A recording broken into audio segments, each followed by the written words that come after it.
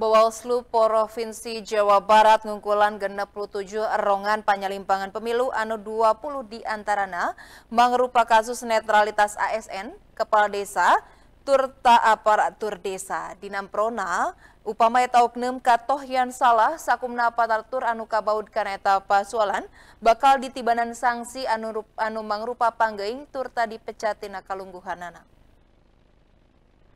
Ketua Bawaslu Provinsi Jawa Barat Zaki M. Zamzam ngebrehkeun pihakna keur meujeuhna ngungkulan 67 laporan erongan panyalimpangan anu 20 di antara namang rupa kasus netralitas. Tina 20 kasus netralitas teh, 8 panyalimpangan mangrupa kasus netralitas ASN, 8 kasus netralitas kepala desa, serta 4 kasus netralitas perangkat desa.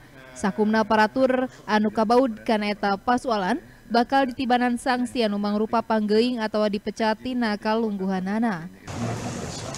Ada yang sedang berjalan, ada yang sudah putus rekomendasi KSM. Sanksi paling beratnya apa? Hmm? Sanksi paling berat yang dijatuhkan? Ya bisa sanksi paling berat itu bisa pemberhentian. Nah, itu kasus yang di Jawa Barat ini yang sudah putus itu. Belum berarti kan eh, KSM ya. Kita kan kalau Bawaslu itu merekomendasi bahwa haji, kajian Bawaslu misalkan terbukti bahwa yang bersangkutan melanggar.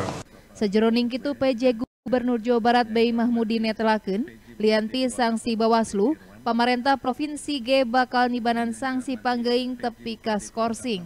Ini akan terus menjaga netralitas dalam artian sebetulnya tidak hanya diucap tapi juga dalam perbuatan dan perkataan dan tindakan dan kalaupun ada pelanggaran kami serahkan kepada Bawaslu. Tapi kan yang seperti sudah jelas-jelas ya tetap dikenakan sanksi kan seperti yang di Garut saat waktu itu kan kena sanksi walaupun diproses juga oleh Bawaslu karena memang prosedurnya seperti itu. Kukituna Bey meredih sakum aparatur kasup kepala desa salawasna ngajaga netralitas. Budi Hartati, Bandung TV.